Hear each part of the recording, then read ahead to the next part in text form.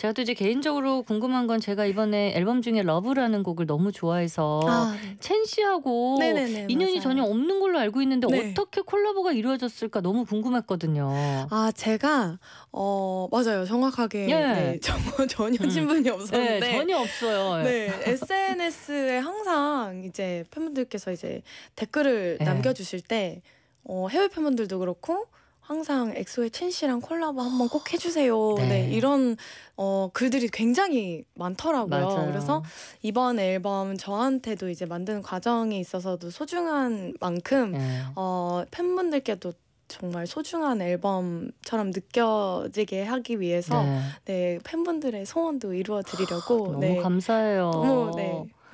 어.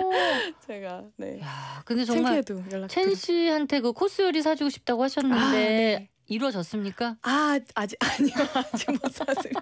아직 못 사드렸어요. 네 너무 감사해서 코스 요리로 뭐, 네. 저는 안 먹어도 되니까 네. 네, 맛있는 거 꼭 사드리고 싶은데 네. 아직 네 제가 네 연락을 못 드렸어요. 네, 지금 첸 씨는 사실 가사도 너무 잘 쓰고 본인 앨범에 네네, 뭐 플라워란. 곡도 그리고 뭐. 가창으로는 뭐 말할 필요도 없이 너무. 노래 잘하니까 네. 오늘 또 생방송이고 하니까 첸 씨한테 감사의 인사라든지 뭐 하고 싶은 아. 이야기 있으면 하나 남겨주세요. 아, 첸 씨한테요. 네 아 네.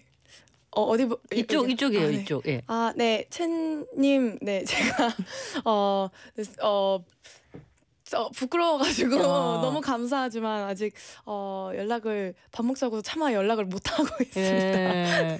어 그런 아, 네. 속마음이 있었어요. 아, 네, 너무 감사한데 네. 제가 이제 좀 낯도 가리고 그래요. 해서. 부끄러워가지고 잘 못 보내겠더라고요. 네. 밥을 먹을 시간 되시나요? 이거를 네, 네. 차마 못 하겠더라고요. 네, 시간 되시면은 네 제가 꼭 네 연락 도전해서 네. 연락 드리겠습니다. 맛있는 거 사드릴게요. 정말 감사합니다. 네, 첸 씨 이 고마운 마음을 정말 그냥 그대로 받아주셨으면 좋겠고 제 소망은 예, 뭐 식사도 식사지만 연말 무대에 두 분이 함께하는 듀엣. 무대를 볼 수 있기를 제가 기도하고 있을게요. 그래서 연말 어, 무대. 러브라는 네. 무대 따뜻하게 두 분의 콜라보 무대 꼭 만들어 주시길 예, 아, 네. 기도하겠습니다. 예.